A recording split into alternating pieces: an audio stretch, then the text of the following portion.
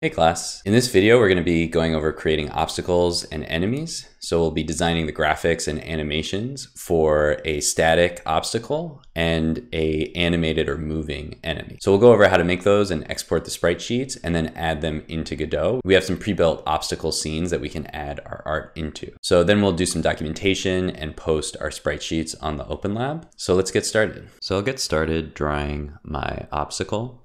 And this is just going to be a stationary obstacle in the scene. And so it'll behave similarly to the enemy, but it won't be moving.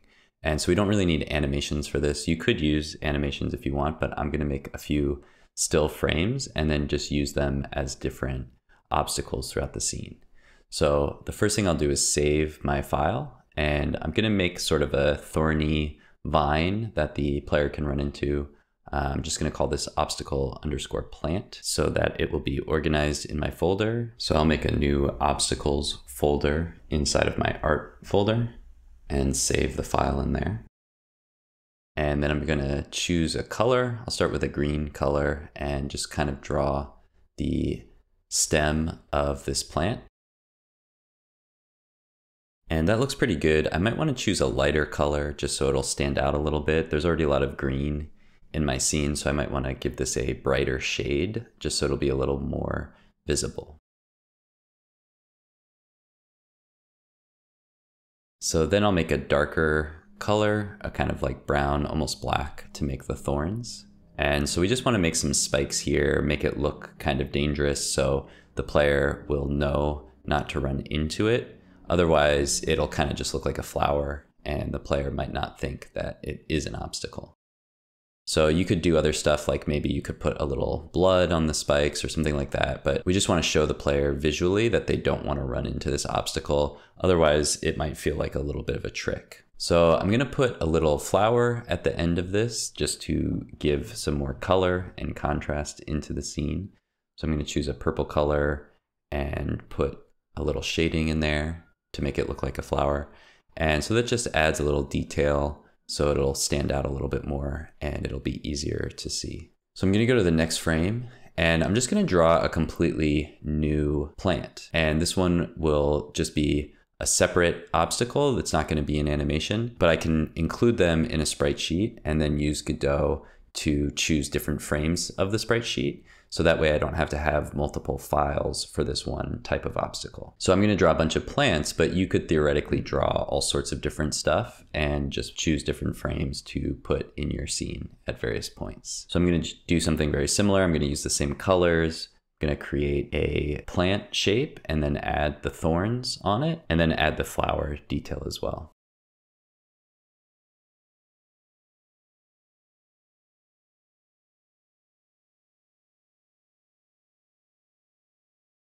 I kind of like that flower circle area. So let's go back and edit the first flower so they look similar. And then I'll draw a third frame and I'm going to do basically the same thing here. Draw the green plant and then the dark thorns and then the purple flower at the top. And I could keep going. You could really add as many frames as you wanted to, but I'll just do three frames for this example. And when we add it into Godot a bit later, we'll see that there's a script that will allow us to choose different frames for different copies of the obstacle throughout the scene. Once I'm happy with the three versions of my obstacle, I'm going to download a sprite sheet. So I'll go to export and click the download sprite sheet button and save it in my obstacles folder.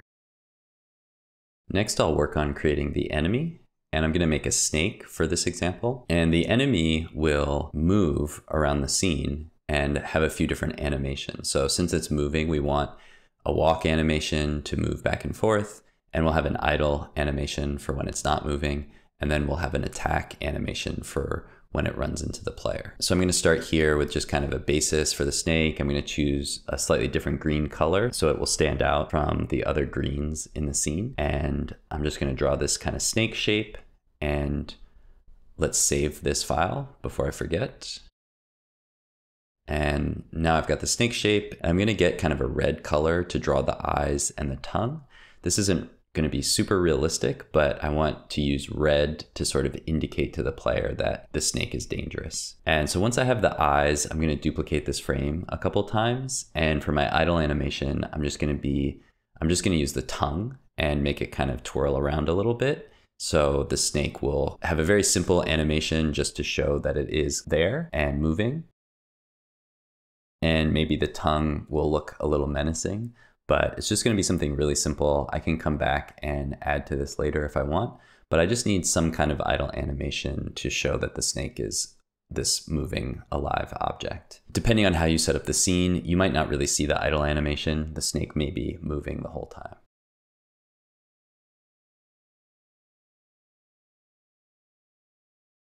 So drawing the tongue was a little tricky because I'm running out of space. And so I'm going to use the move tool and hold command to move all of the frames at the same time. So that way it won't break my animation. And so now I have a little bit more room to finish this last frame. So I'm happy with that idle animation. So I'll export my sprite sheet. So I'll just go to the export menu and click the download on the sprite sheet and save that in my obstacles folder. And now we can move on to the walk animation. And so this is just going to be a really simple animation. I'm just going to have two frames where the snake kind of bounces up and down. So I'm not going for realism here. I'm just going for a very basic way to create some motion, similar to the character animations that I did. So of course you could spend more time and put more detail here, but just for the sake of the demo, I just want to make something really simple just to convey that the snake is moving. And then we'll see once we're in the game, it won't stand out so much because we'll be trying to avoid the snake and thinking about the game mechanics. We won't really be looking so closely at the animation. So I'm just going to take that first frame from the idle and then make a new frame and turn on the onion skin so I can kind of copy it a little bit, but I'll just move the snake up a little bit over here and kind of down a bit over here and so it'll make it look like the snake is kind of moving up and down. And we can see the preview of the animation. That looks pretty decent. And so now we just have to add in the eyes and the tongue to finish this off. And so that looks pretty good. And now I want to go ahead and save it. And at this point, I kind of realized that I hadn't saved my walk animation correctly. I forgot to click the save as button, which I've done a few times in these videos, but that's okay. You can see I just kind of went back to the idle version and then save that as idle and then save this as walk again. And now everything is back to normal and I can export my sprite sheet. So now I'm going to work on the attack animation. And this time I'm going to click save as on my Piskel file and not make that mistake again. So for my attack animation, I'm just going to delete the second frame from my walk animation and add a couple new frames. And I'm gonna do the same basic approach that I did with the walk animation. I'll turn on the onion skin and sort of draw over the first frame. So it'll be kind of similar, but it'll be the next frame of this sort of animation. So I'm gonna have the snake kind of move its head back a little bit. So it's getting ready to attack in the second frame. And then I'll make another frame where the snake kind of lunges forward towards the character. But I'm just using that first frame as a guide and then I'll create three new frames for the attack animation. And so this animation will come out of the snake moving or standing idly.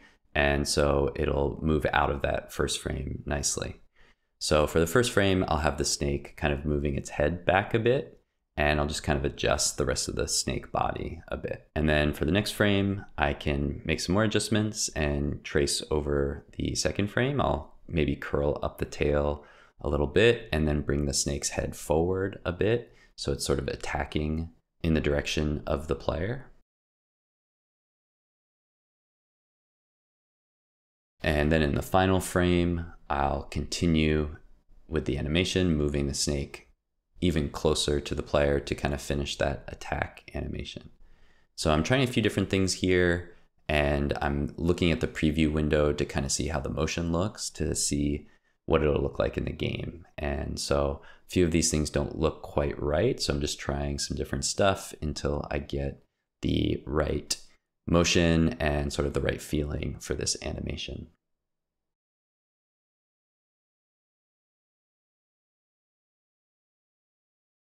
So now I've got the three frames that I want to work with. And so I'm going to go back to the first frame and just add eyes. And I'm going to replace the tongue with some fangs. So it'll make the snake look a little more kind of scary and menacing and like it's about to attack the player.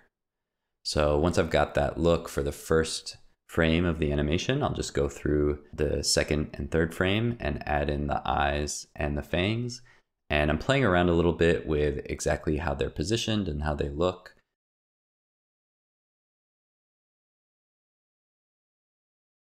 So that looks pretty good. I can get rid of the first frame now. I don't need that guide anymore. So now I just have my three frames for the attack animation. And then the tail on this third frame looks a little wonky, so I'm just gonna try to clean that up for a second.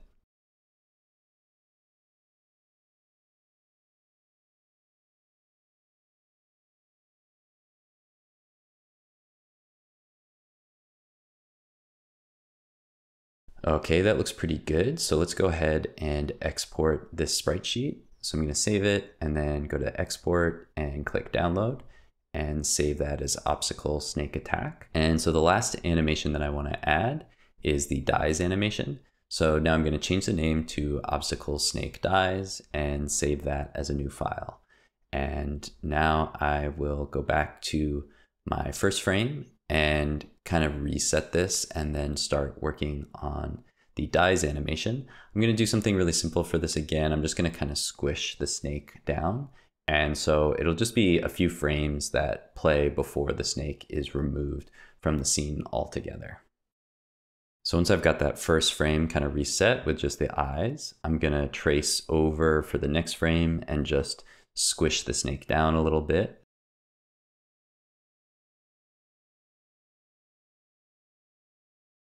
And then we can go to the third frame and we'll squish the snake down even more. I'm just gonna kind of squish his whole body down and bring his head down here.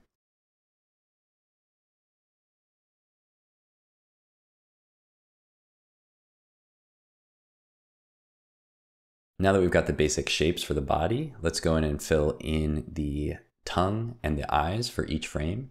And we want to emphasize that the snake is getting squished and dying. So I'm going to kind of flatten out the tongue, maybe make the eyes a little bigger or kind of X's or something like that to emphasize that the snake is getting squished and dying.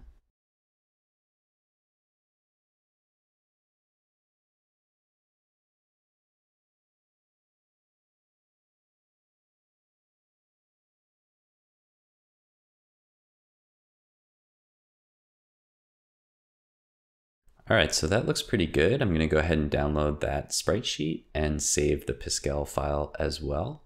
And now we should have all of the obstacle art that we need. So we have our basic plant obstacle with a few frames, and then we've got four animations for our enemy or moving obstacle.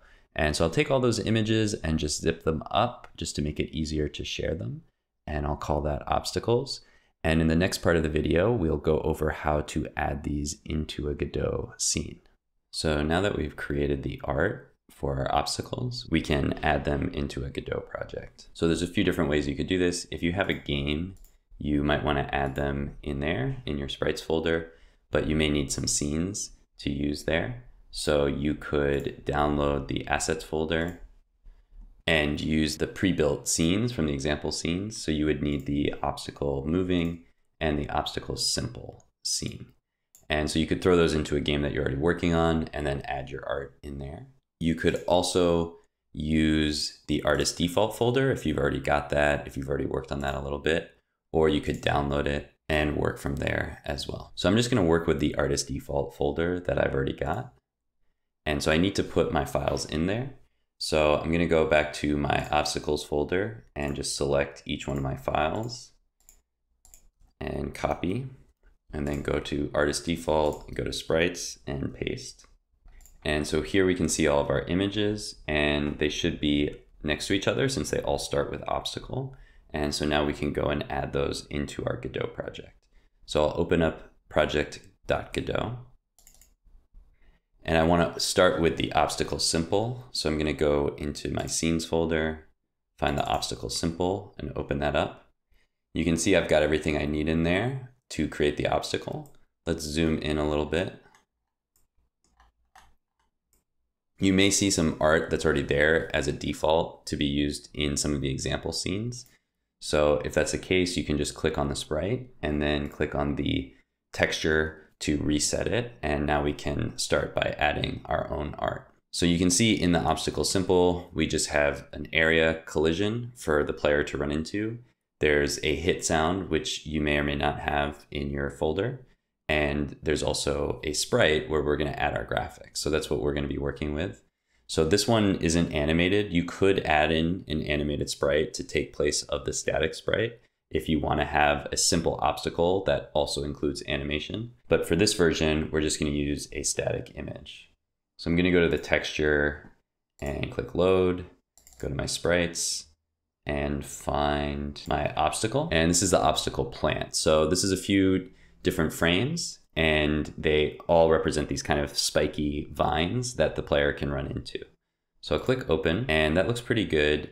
One thing that the obstacle simple has that the obstacle moving doesn't have is you can change the frame number. So we used a sprite sheet for this and that allows us to show different sprites for different obstacles, which is a good way to kind of add some variety to the scene. So you don't have to do that.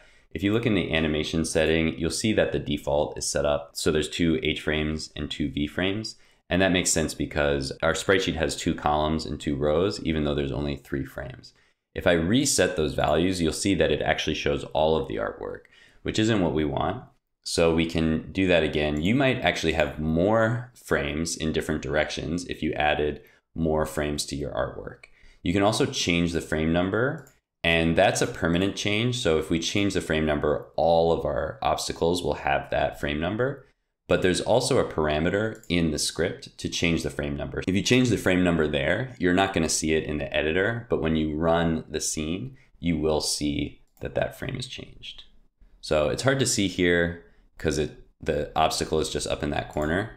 But that's what you would do if you wanted to change the frame after the program starts. Depending on the size of your artwork, you may also want to adjust the collider to match where you want the player to get hit. So if you want it to be a little bit easier, you could bring it in a little bit so it's just where the spikes are. Or if you want it to be harder, you could bring it out a little bit. You want to stay inside of the art as much as possible so it doesn't look like the player is hitting some sort of empty space when they hit the obstacle. So I think this is pretty good. We also want to kind of look at the other frames and make sure they don't go too far out of the way. I think that looks pretty decent, so we'll stick with that for the collider. And that's everything that we need to do for the simple obstacle. So now let's add the obstacle moving. I'm gonna double click on the obstacle moving scene. And you can see there's a bunch of stuff in here. If you wanna learn more about what all these different colliders are doing, I would check out the obstacles lab in the programming tier. For now, we're just gonna worry about the art. So we're gonna go over to our animated sprite and we're gonna create some new animation frames. So I'm gonna go over to the frames, click empty, click new sprite frames, and then click on sprite frames.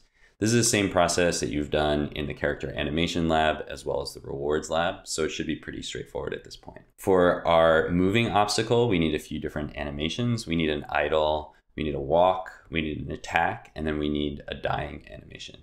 We can see what animations are required by looking at the script.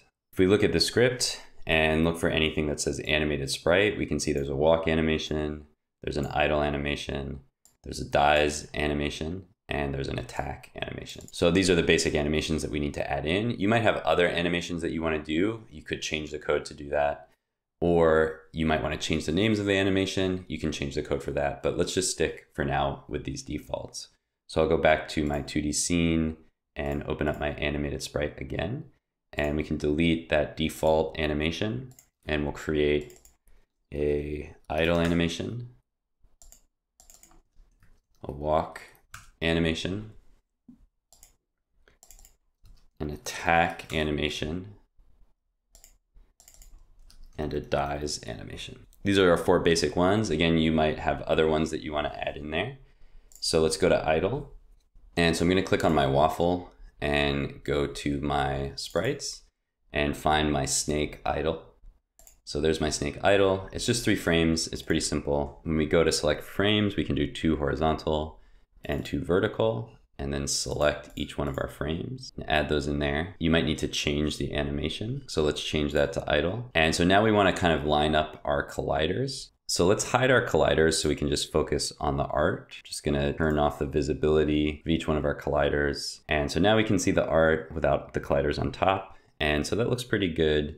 Let's move on to our next animation. So let's choose the walk animation. I'm gonna choose the waffle again and find the walk animation and click open. This one only has one column and two vertical rows. So I'll select those two, add that in there.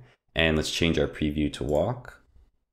Okay, that looks pretty good. It seems a little bit fast, so I might slow it down just a bit. That feels a little bit better, but we can see how that looks in the scene. So next, let's do the attack. So I'm gonna click attack. I'll click the waffle again, choose the attack, click open. We have two horizontal and two vertical again. I'll select those frames, add them in. Let's change the preview to attack. So that looks pretty good. This one we could leave looping or turn off looping. You might want to test how it looks in the scene and then choose. If we leave it looping, it'll look like the snake is attacking over and over again. That might be kind of confusing because when the snake attacks, it's only going to take one life from the player. So I'm going to turn loop off. And so we can't see it in the preview anymore unless we change the frame back and then turn playing on.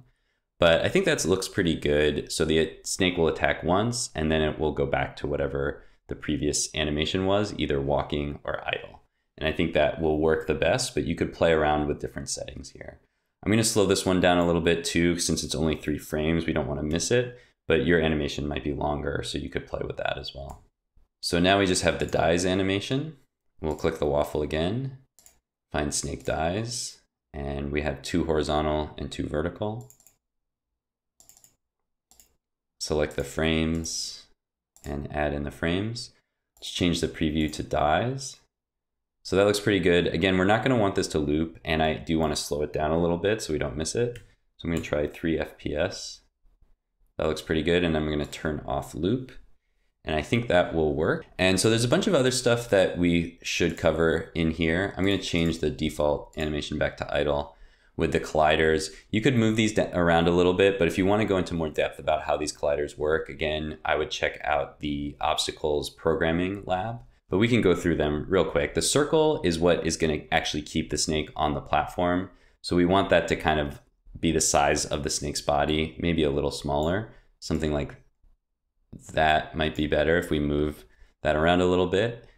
The next collider is where the snake can get hit by the player. So I kind of put this near where the head is, but you're going to have to balance this because you don't want this to overlap with where the snake will attack the player. So that's the next collider is the attack. And so you can see it's overlapping. We don't want that. So I'm going to turn off the lock and let's lock up our animated sprite actually so we don't move that around.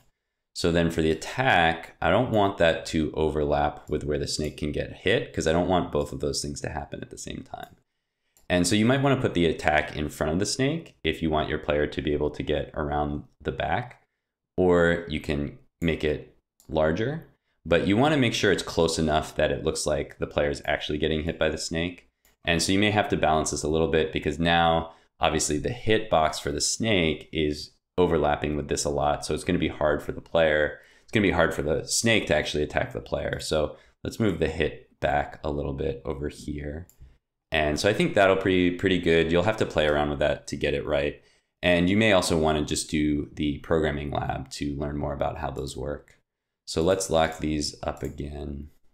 The last collider, this really big one, is going to set the area where the enemy can detect the player. So there's a setting in the code that you can change that if the player enters this area, that will sort of make the snake start start walking, and otherwise the snake won't be walking. So that's one setting that you can set up. So I think we've got our obstacles set up. Let's take a look at putting them in the game real quick. So I'm going to open up the default scene and we've got some items and some other stuff in here. Let's try putting some obstacles. So I'm going to delete the items for now. I had those from my last lab, but I don't really need those at the moment. So let's add in a new node 2D for our obstacles. And then I'm going to use the instance child scene and we can see our obstacle moving. So I'm going to add one of those and I'm going to add our obstacle simple. And I'm gonna duplicate our moving obstacle just to show the two different settings. So I'll start with the obstacle simple. So we can just put that down here. You can move it around wherever. If the player runs into that, they'll lose a life. So that's pretty straightforward. Then with our moving obstacles, if we have a snake here and we turn on activate on player, you'll see that the snake won't activate until the player gets close. If we take our other snake and put them down here, this snake is going to just start moving immediately. There's another setting over here, stay on platform. If that's on, then the snake will turn around if it hits the edge of the platform. If it's off, the snake will just fall off the platform. So those are some different settings that you can play with. Let's preview the scene. So I'm gonna open this up. You can see one snake is moving. I'm gonna take a screenshot of the player. The other snake is kind of hard to see, but once we get into that area, it starts moving. So we can see the snake attacking. We might want to take a screenshot of that. And it's kind of hard to see because the green blends in with the green of the trees. And that's something I was kind of interested in exploring is making my obstacles kind of hard to see. So the signs are saying, wait, watch out for snakes, but there's also all this green scenery. So it makes it kind of hard to see where the snakes are. So I'm not sure that's 100% working. I might play with the colors of the snakes and do other things, but that's kind of specific to my scene depending on what you've got going on in your scene, you might really not have to worry about that as much. So at this point, I've added in the art and it's working, so that's good. I might need to make some tweaks to make it really look the way I want to at this point. But for now, I'm just gonna stop here and post some documentation on the Open Lab. So I've got a couple screenshots. I've got everything set up in Godot, so I'm gonna leave Godot. And I'll go to the Open Lab and start a new post. I want to make sure to add the category so I can look for it or I can type in obstacles. And there we go, obstacles and enemies. And I'll add a title and then add a short description so we know what we're looking for. And then we can include some screenshots from the game.